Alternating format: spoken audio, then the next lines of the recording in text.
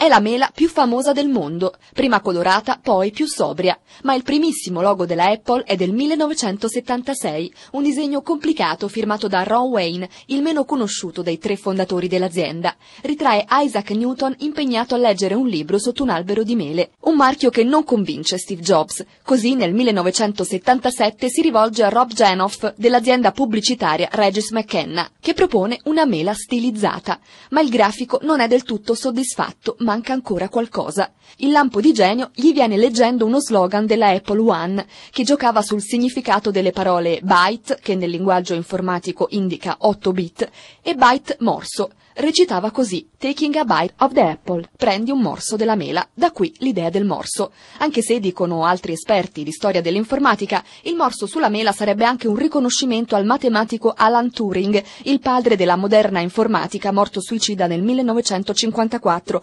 mangiando una mela avvelenata. In ogni caso Steve Jobs è molto contento del nuovo logo, ma fa aggiungere le strisce arcobaleno per sottolineare l'introduzione del colore nell'Apple II. Il logo rimane questo fino al 1998 quando si evolve e diventa uniforme, più moderno e sobrio. Perché la mela? Non ci sono certezze, qui la storia si confonde con la leggenda dell'informatica. Gli esperti del settore sostengono che Steve Jobs da ragazzo abbia lavorato in una piantagione di mele e anche che fosse rimasto colpito dall'etichetta discografica dei Beatles, Apple Records, con cui poi in effetti ebbe una lunga causa giudiziaria. Ma circola anche la voce che il motivo sia molto più banale. Mentre pensava a un nome per il suo primo computer, Jobs vide sul tavolo una mela.